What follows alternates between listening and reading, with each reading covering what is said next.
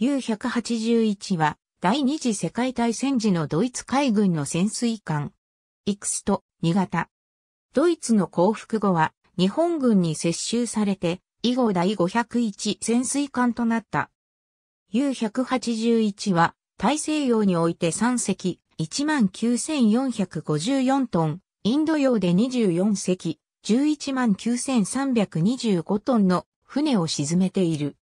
昭和20年秋、シンガポールのセレター軍港における妙高と横付け中の E501 戦と E502 戦1941年3月15日、ブレーメンのデシマーク AV ベーザー造船所で寄港。1941年12月30日に浸水し、1942年5月9日にボルフガングリュート艦長の下で収益した。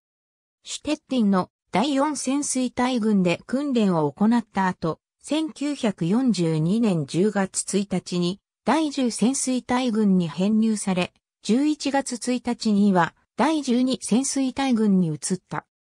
U181 は、リュートの指揮の下で1942年から1943年にかけて南アフリカやモザンビーク沖へと出撃し、22隻、合計10万3712トンを沈めた。これにより、リュートは、オットー・クレッチマーに次いで戦果を挙げた U ボート艦長となり、少佐への昇進と白洋、兼、ダイヤモンド付け騎士鉄十字章を獲得した。また、リュートは、第22潜水隊軍司令官となった。1943年11月1日、クルト・フライバルトが U181 艦長となった。U181 は1944年中頃に、ボルドーからペナンへ向かい、4隻24,869を沈めた。この際、ファ330やナクソスレーダー探知機を運んでいる。1944年10月1日、第33潜水隊軍に転籍。キロでは鈴130トン、モリブデ20トン、生ゴム80から100トンや最新のレーダー探知機フム26トゥーニスを積み、一隻1198を沈めた。積み荷のため魚雷は2本しか搭載しておらず、一隻を沈めるのでそれは消費された。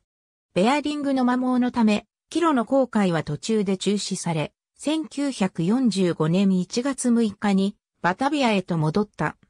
また、その途中でココス諸島付近で潜水艦 U843 へと燃料を移している。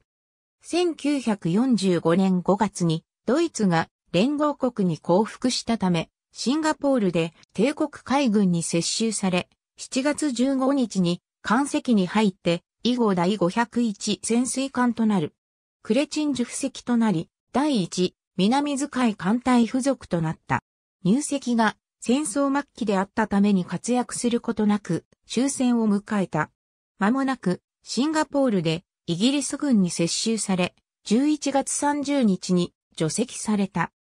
1946年2月16日0545、北緯03度05分統計100度04分、北緯3.083度統計100.067度、3.083-100.067のマラッカ海峡で海没処分された。